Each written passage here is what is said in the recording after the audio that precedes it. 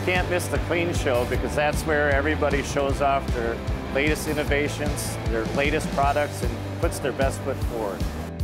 I really think that the attendance is up from the last Clean Show.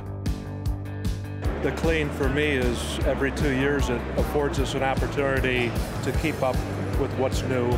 You see a lot of small family businesses, a lot of large businesses, and so it's also an opportunity to network with those people who we may not have had contact with in a while. The Clean Show is the best place to see a lot of customers in one space in a small amount of time.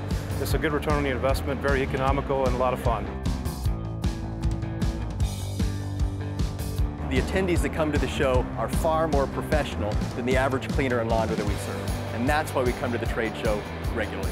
The Clean Show helped me in my line of business because of education, and I think education is power, and I can pick their brain and how to improve my own business.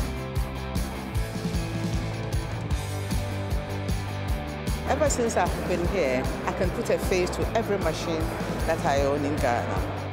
The Clean Show is awesome. It's investing in you, it's investing in your business, and it's investing in your customers. We find that the Clean Show brings the world to us. We're very, very happy with the results, and we intend to commit ourselves for the long haul in attending the Clean Show.